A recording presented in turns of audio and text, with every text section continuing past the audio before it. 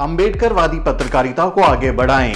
अपना खुद का नेशनल बहुजन मीडिया खड़ा करने के लिए द शूद्र की आर्थिक मदद करें। आप स्क्रीन पर दिए गए अकाउंट नंबर में सीधे अपनी आर्थिक मदद भेज सकते हैं। इसके अलावा यूपीआई, पेटीएम फ़ोन पे और गूगल पे के ज़रिए भी आप हमारी मदद कर सकते हैं। आपकी ये छोटी सी मदद एक बड़े मिशन को कामयाब बनाने में अहम भूमिका निभाएगी। जय भीम। शिक्षा के बारे में बाबा साहब डॉक्टर अंबेडकर ने कहा था, जो शिक्षा आदमी को योग्य न बनाए, उसे समानता और नैतिकता ना सिखाए, वो सच्ची शिक्षा नहीं है। सच्ची शिक्षा मानवता को पालती है, गुजारे के लिए साधन उत्पन्न करती है और ज्ञान बढ़ाती है। सच्ची शिक्षा ही समाज को ज़िंदा रखती है। जय भीम, मैं हूँ सुमित चौहान और आप देख रहे हैं द शूद्र। देश में नई शिक्षा नीति लागू हो गई है।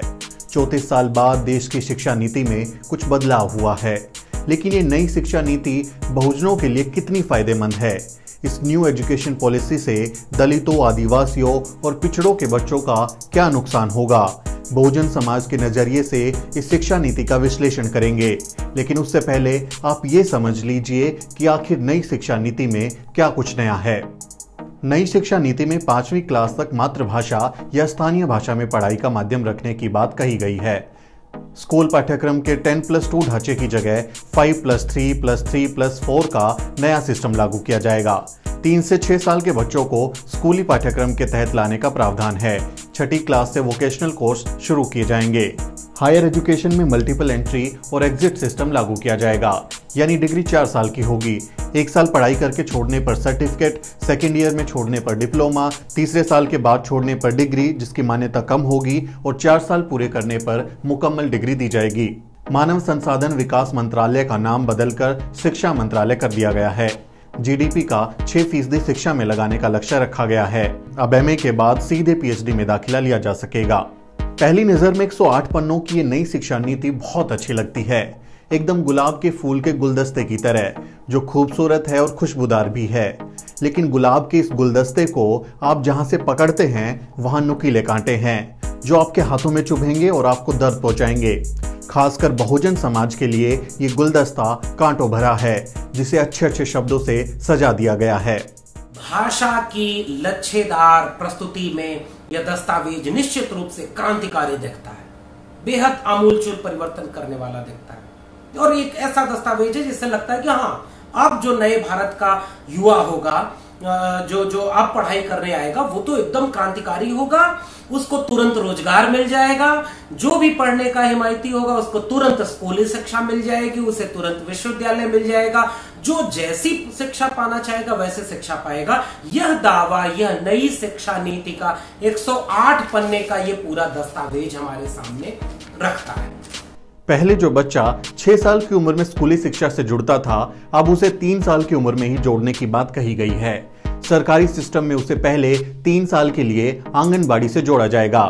पहली बात तो ये कि इसमें कुछ भी नया नहीं है।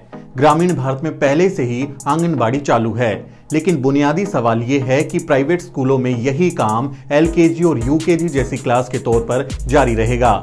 यानी गरीब दलित आदिवासी और पिछड़े समाज का बच्चा आंगनबाड़ी में पंजीरी और बिस्किट खाकर खुश हो जाएगा। तो अमीरों और सवर्णों के बच्चे प्राइवेट स्कूल में तेज़ी से ज्ञान हासिल करेंगे। पब्लिक स्कूलों में हज़ारों रुपए फ़ीस देकर के जो बच्चा प्रेप करेगा, प्रेप में नर्सरी क्लासेस ले रहा होगा और दूसरी तरफ़ एक बच्चा होगा जो आंगनबाड़ी में लेगा। क्या उन दोनों में कोई लेबलिंग है? क्या दोनों में कोई तालमेल बनाया गया है? नहीं है इसका ज़िक्र। नई शिक्षा नीति में दूसरी बात प्राथमिक शिक्षा के माध्यम की है। एनईपी में कहा गया है कि पांचवी क्लास तक के बच्चों को उनकी मातृभाषा में शिक्षा दी जाए। ये सुझाव है कि अगर संभव हो तो इससे आगे आठवीं क्लास तक भी इस भाषा में पढ़ाया जाए। लेकिन स्थानीय भाषा का ये सुझाव सिर्फ़ और सिर्फ़ सरकारी स्कूलों के लिए है। प्राइवेट स्कूल पहले की तरह अंग्रेज़ी मीडियम में पढ़ाते रहेंगे। स्थानीय भाषा में पढ़ाने की सबसे बड़ी दिक्कत यह है कि क्या उस भाषा में पाठ्यक्रम की किताबें उपलब्ध हो पाएँगी? दूसरा, स्थानीय भाषा में बुनियादी शिक्षा हासिल करने वाला बच्चा क्या आगे चलकर अंग्रेज़ी या हिंदी में अपने विषयों को अच्छे से समझ पाएगा? और क्या इससे उसकी पढ़ाई पर बुरा असर नहीं होगा? साथ ही जब प्राइवेट स्कूल के बच्चे अंग्रेज़ी माध्यम से पढ़कर मैदान में उतरेंगे तो क्या सरकारी स्कूल का बच्चा उनसे मुकाबला कर पाएगा? कॉन्वेंट स्कूल में पढ़ने वाला बच्चा शुरू से ही इंग्लिश मीडियम में जाएगा। एक तरफ़ अंग्रेज़ी मीडियम में पढ़ने वाला कॉन्वेंट स्कूल का बच्चा होगा और दूसरी तरफ़ यह जो आपके पाँच प्लस तीन प्लस तीन प्लस चार वाली कैटेगरी का बच्चा होगा, जिस पर अंग्रेज़ी नहीं आएगी। ध्यान रखिएगा, अंग्रेज़ी भाषा किसी भी स्तर पर सीखी जाती है और हम तो इसके हिमायती हैं कि भाषा के रूप में आप स्पेनिश पढ़ाते हैं बाद में, आप अलग अलग भाषाएँ पढ़ाते हैं। मातृभाषा में शिक्षा होगी तो अच्छी बात है। क्षेत्रीय बोलियों का विकास हो गया, अच्छी बात है। लेकिन क्या इक्वल प्लेइंग फ़ील्ड होगी क्या? ये सही है कि क्षेत्रीय भाषाओं को बढ़ावा मिलना चाहिए, लेकिन ये भी सच है कि हिंदी या फिर स्थानीय भाषाएँ मार्केट ओरिएंटेड यानी बाज़ार की भाषा नहीं है। हिंदी में आप अच्छी अच्छी कविता और उपन्यास लिख सकते हैं, लेकिन क्या आप इंजीनियरिंग की पढ़ाई हिंदी में कर सकते हैं? क्या भोजपुरी में विज्ञान पढ़ा सकते हैं? और अगर पढ़ा भी दिया तो क्या वो बच्चा देश के बाकी बच्चों और दुनिया के बच्चों से मुकाबला कर पाएगा? बाबा साहब डॉक्टर अंबेडकर एक महान शिक्षाविद भी थे। उन्होंने सिद्धार्थ कॉलेज और मिलिंद कॉलेज जैसे शिक्षण संस्थान बनाए, लेकिन उन्होंने पढ़ाई का माध्यम अंग्रेज़ी ही रखा। बाबा साहब ने खुद भी दुनिया भर से जो ज्ञान हासिल किया, वो अंग्रेज़ी में ही था। आज उनको पूरी दुनिया जानती है क्योंकि उन्होंने बहुत सारी किताबें अंग्रेज़ी में ही लिखी थी। आज ज़्यादातर सरकारी स्कूलों में दलितों, आदिवासियों, पिछड़ों और अल्पसंख्यकों के बच्चे ही पढ़ते हैं। इस देश में सबसे ज़्यादा अमीर सवर्ण हैं और वो अपने बच्चों को प्राइवेट स्कूल में अंग्रेज़ी मीडियम में पढ़ाते हैं। नई शिक्षा नीति में भी यही जारी रहेगा। तो ऐसे में सवाल उठता है कि सिर्फ़ सरकारी स्कूल के बच्चों को ही स्थानीय भाषा में क्यों पढ़ाया जाए? ऐसे में सवाल उठता है कि कहीं जानबूझकर ही तो बहुजन समाज के बच्चों को स्थानीय भाषा में पढ़ाकर उनका दायरा कम करने की कोशिश तो नहीं हो रही। मेरा मानना है कि बहुजन समाज को अपने बच्चों को अंग्रेज़ी माध्यम में ही पढ़ाना चाहिए, ताकि वो दुनिया भर में अपने रास्ते बना सकें। भारत में जातिवाद उनके रास्ते में हमेशा रोड़ा अटकाता रहता है। ऐसे में अगर वो अंग्रेज़ी माध्यम में पढ़ते हैं तो उनके लिए नए नए अवसर पैदा होंगे। नई शिक्षा नीति की अच्छी बात यह है कि इसमें एक कोर्स के साथ कोई दूसरा सब्जेक्ट भी लिया जा सकता है। जैसे साइंस और केमिस्ट्री के साथ अब आप संगीत और पेंटिंग जैसा विषय भी ले सकेंगे। लेकिन स्कूली शिक्षा में वोकेशनल कोर्स के नाम पर सरकारी स्कूल के बच्चों को कारपेंटर इलेक्ट्रीशियन बाल काटना साइकिल ठीक करना, माली और कुमार के साथ मिलकर बर्तन बनाने जैसे कोर्स कराए जाएँगे। पहली नज़र में ये सब सुनने में बहुत अच्छा लगता है, लेकिन यहाँ भी एक बड़ी चिंता उभर कर सामने आती है। इस प्रावधान के बारे में हमारी बड़ी चिंता ये है कि कौशल विकास के नाम पर सरकारी स्कूल के गरीब दलित और आदिवासी बच्चों को छोटे मोटे काम सिखाए जाएँगे। इससे होगा ये कि वो बच्चे या तो इसी काम को अपनाने के बारे में सोचेंगे या फिर इन कामों के अलावा वो कोई बड़ा सपना नहीं देख पाएँगे। जबकि दूसरी तरफ़ प्राइवेट स्कूल के सवर्ण बच्चे सिविल सर्विसेज़ आईआईटी, आईआईएम या फिर विदेशी यूनिवर्सिटी में पढ़ाई की तैयारी कर रहे होंगे। साथ ही माली बढ़ई या कुमार के काम को सिखाना एक तरह से जातिगत पेशे को बढ़ावा देना भी है। एक लेवल पर वो कैसे आएगा? आप कारपेंट्री सिखाएँगे, आप पंचर जोड़ना सिखाएँगे, आप नल टोटी ठीक करना सिखाएँगे। यानी आपने पहले ही कुछ बच्चों को कह दिया कि तुम बचपन से ही अगर टोटी के काबिल हो तो टोटी ही बनाओ। टोटी जोड़ना सीखो, पंचर जोड़ना सीखो, तुम साइकिल के मैन्युफैक्चरिंग तक जा ही ना पाओ। क्योंकि आप कौशल विकास करना चाह रहे हैं। तो मैं मैं इसको समझ नहीं पा रहा हूँ। आपने उसको वहीं बाइफरगेट कर दिया। कैसे वो अपने स्किल को जो पारिवारिक स्किल मिली है, जो उसको पृष्ठभूमि परिवार में मिली है, उसको एक्सक्लूड करके कैसे बड़ी चीज़ों को सीख सकता है, इसके तो अवसर खत्म हो गए स्कूली शिक्षा में। नई शिक्षा नीति में एक समस्या ये भी है कि छोटे स्कूल जहाँ कम छात्र या टीचर हैं, उन्हें बंद कर दिया जाएगा। यूडाइज के आंकड़ों के मुताबिक भारत में फ़िलहाल एक लाख पाँच हज़ार स्कूल ऐसे हैं जिनमें सिर्फ़ एक टीचर है। 28 फ़ीसदी प्राइमरी स्कूल और करीब 15 फ़ीसदी उच्चतर प्राथमिक स्कूलों में 30 से भी कम बच्चे हैं। लेकिन नई नीति के मुताबिक या तो इन स्कूलों को बंद कर दिया जाएगा या फिर इन्हें दूसरे बड़े स्कूलों के साथ मर्ज कर दिया जाएगा। नई नीति के मुताबिक हर ज़िले में एक मेगा स्कूल बनाया जाएगा। ऐसे में अगर बच्चों के आसपास का स्कूल बंद हो गया तो उनके लिए घर से दूर वाले स्कूल में जाना बहुत मुश्किल हो जाएगा। खासकर लड़कियों के लिए तो शिक्षा हासिल करना कठिन बन जाएगा। दूर दराज के इलाके में यही छोटे छोटे स्कूल बच्चों की शिक्षा का सहारा होते हैं।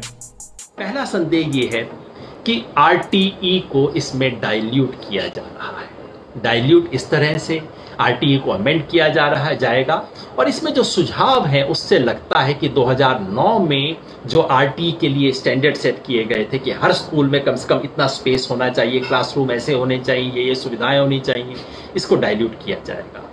इसके बारे में भी डर है कि ये जो 25 परसेंट सीट ईडब्ल्यू के लिए रिज़र्व की गई थी, उसके बारे में चुप्पी है। ड्राफ्ट तो इसके बारे में कहता था, कुछ गड़बड़ है, अब चुप्पी साध ली गई है।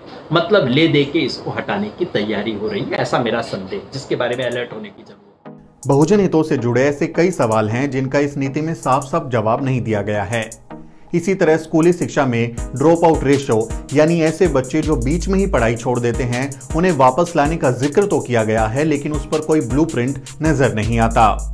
Unified district information system of education के सर्वे के मुताबिक, साल 2017-18 में 21.8 फ़ीसदी दलित बच्चे ऐसे थे जिन्होंने दसवीं क्लास पास करने से पहले ही पढ़ाई छोड़ दी थी। वहीं अनुसूचित जनजाति के 22.3 फ़ीसदी बच्चे दसवीं क्लास तक पहुँच ही नहीं पाते। ऐसे में इन दलित आदिवासी छात्रों को मुख्य धारा में कैसे वापस जोड़ा जाएगा? इसके बारे में कोई पुख्ता इंतज़ाम नहीं किए गए हैं। एक बड़ी चिंता की बात यह भी है कि नई शिक्षा नीति में कहीं भी आरक्षण शब्द का ज़िक्र तक नहीं है। एस सी एस टी और ओबीसी के प्रतिनिधित्व को पक्का करने वाली आरक्षण व्यवस्था के बारे में नई शिक्षा नीति मौन है। 108 पन्ने के इस दस्तावेज़ में आरक्षण शब्द कहीं आप नहीं पाएँगे। खोज के देखिए। आरक्षण शब्द नहीं अब बात उच्च शिक्षा की करते हैं। उच्च शिक्षा में मल्टीपल एंट्री और एग्जिट सिस्टम लागू किया जाएगा। बीच में पढ़ाई छोड़ने के बाद सर्टिफिकेट या डिप्लोमा दिया जाएगा। ये अच्छी बात है कि ड्रॉप बच्चों के पास अपनी पढ़ाई का कोई ना कोई दस्तावेज़ होगा। लेकिन क्या आपने ऐसा सिस्टम बनाया है कि अगर कोई बच्चा बारहवीं के बाद ग्रेजुएशन के पहले या दूसरे साल में सर्टिफिकेट या डिप्लोमा लेकर पढ़ाई छोड़ देता है तो क्या वो उसके आधार पर नौकरी के लिए अप्लाई कर सकता है? जिन सरकारी नौकरियों में ग्रेजुएट होना ज़रूरी है, उनमें तो ऐसे छात्र अप्लाई ही नहीं कर सकते। तो इस सर्टिफिकेट या डिप्लोमा का क्या मतलब है? अगर आप इसे मान्यता दे रहे हैं तो उन्हें नौकरी देने का इंतज़ाम भी तो करिए। प्राइवेट कंपनियाँ तो वैसे भी इन कम वैल्यू वाले सर्टिफिकेट या डिप्लोमा होल्डर्स को नौकरियाँ नहीं देने वाली। वर्ल्ड ट्रेड ऑर्गेनाइजेशन और general agreement on trades and services के दबाव में बनी इस नई शिक्षा नीति में शिक्षा के बाजारीकरण पर बहुत ज़ोर दिया गया है। नई सरकारी यूनिवर्सिटीज बनाने की जगह प्राइवेट यूनिवर्सिटीज की ओर देखा जा रहा है। लेकिन शिक्षा के बाजारीकरण का मतलब है शिक्षा का महँगा होना। प्राइवेट कॉलेज या यूनिवर्सिटीज लाखों रुपए में डिग्री देंगे, जिसका मतलब है कि गरीब और वंचित तबके के लिए पढ़ाई लिखाई दुश्वार हो जाएगी। नई एजुकेशन पॉलिसी में विश्वविद्यालयों और राष्ट्रीय शिक्षण संस्थानों के लिए ग्रेडेड अटोनमी लागू किया जाएगा। एकेडमिक एडमिनिस्ट्रेटिव और फाइनेंशियल अटोनमी दी जाएगी। संस्थानों को ए बी और सी कैटेगरी में बांटा जाएगा। इसे आसान भाषा में समझिए। पहली कैटेगरी के संस्थानों को ये हक होगा कि वो अपने यहाँ किस कोर्स को पढ़ाएँगे, उसका कैसा स्वरूप होगा, ये सब तय कर पाएँगे। दूसरा, उनके पास ये हक होगा कि वो अपने संस्थान को कैसे चलाएँगे, कैसे भर्तियाँ करेंगे, प्रमोशन कैसे करेंगे, किस प्रोफेसर को कब निकालेंगे और प्रशासन संबंधी फैसले लेने का सारा हक उनके पास होगा। और तीसरे नंबर पर आर्थिक स्वायत्तता होगी, जिसका मतलब है ऐसे संस्थान अपना खर्च निकालने के लिए खुद पैसे जुटाएँगे और इसके लिए वो फ़ीस को जितना चाहें उतना बढ़ा सकते हैं। हम क्या करने वाले हैं नई शिक्षा नीति से? एक वर्ण व्यवस्था खींचने वाले हैं विश्वविद्यालयों की वर्ण व्यवस्था। ब्राह्मण जैसे वर्ण व्यवस्था में श्रेष्ठ हुआ करता था, वैसे आपके यहाँ ए ग्रेड इंस्टीट्यूशन बनेंगे। जिस तरह वैश्य और क्षत्रिय थे B grade C grade institution शुद्ध कैटेगरी के होंगे। आपको अजीब लग सकता है। मैं अभी समझाऊँगा कैसे वर्ण व्यवस्था अब उच्च शिक्षा में लागू कर दी गई है? और इस वर्ण व्यवस्था में जिसकी जेब में पैसा ज़्यादा है, जो अपर कास्ट, अपर क्लास, पुरुष, शहरी लोग हैं, उस तबके के लिए आपने ए ग्रेड इंस्टीट्यूशन बनाने के ख्वाब दिखाए हैं। और जो सी ग्रेड के इंस्टीट्यूशन है, आगे मैं उच्च शिक्षा में और आंकड़े दे रहा हूँ कि उनको बंद करने के लिए कहा गया है। वो सारे इंस्टीट्यूट बंद किए जाएँगे। तो ये जो सौ ग्लोबल ग्लोबल यूनिवर्सिटीज की शाखाएँ खोली जाएँगी, वो किसके लिए? है साथ ही उच्च शिक्षा में एफडीआई, यानी विदेशी निवेश का रास्ता खोल दिया गया है। अब विदेशी यूनिवर्सिटीज हमारे यहाँ अपनी शाखाएँ खोल सकती हैं। लेकिन ऐसी प्राइवेट यूनिवर्सिटीज में ना ही आरक्षण लागू होगा और ना ही आर्थिक रूप से कमज़ोर तबकों के लिए सीटें आरक्षित होंगी। कुल मिलाकर शिक्षा को एक लग्जरी बना दिया जाएगा। जिसके पास पैसा होगा, वो पढ़ ले। जो अफोर्ड नहीं कर सकता, वो ना पढ़े। शिक्षा का जो कमर्शियलाइजेशन हो रहा है, उसके बारे में हम लोगों के शोर मचाने के बाद एक पैरा तो डाल दिया गया है, लेकिन दरअसल कमर्शलाइजेशन को रोकने की कोई व्यवस्था नहीं है। और दूसरा दूसरा फॉरेन यूनिवर्सिटीज के लिए रास्ता पहले से भी ज़्यादा खोल दिया गया है, जिसका मतलब है कमर्शलाइजेशन और प्राइवेटाइजेशन बढ़ेगा। और आप देखिए, जब प्राइवेट पैसा आता है तो वो उसमें अपना लाभ ही देखेगा। उसमें विद्यार्थियों का लाभ नहीं देखा जाए। तो मुझे जो लगता है कि यह शिक्षा नीति पूरी तरह बजा कर बाजारीकरण को देखते हुए लागू की गई है और इससे बाजारवाद को बढ़ावा मिलेगा।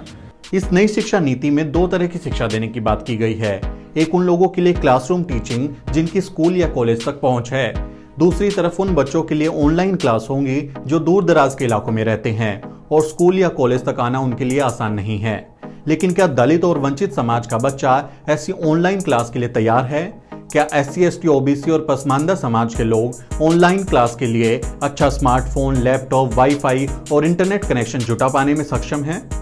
कुछ दिन पहले आई ये खबर शायद आपने पढ़ी होगी। हिमाचल प्रदेश के पालमपुर में रहने वाले कुलदीप को अपने बच्चों की ऑनलाइन क्लास के लिए स्मार्टफ़ोन खरीदने के लिए छह हज़ार में अपनी गायें बेचनी पड़ी थी।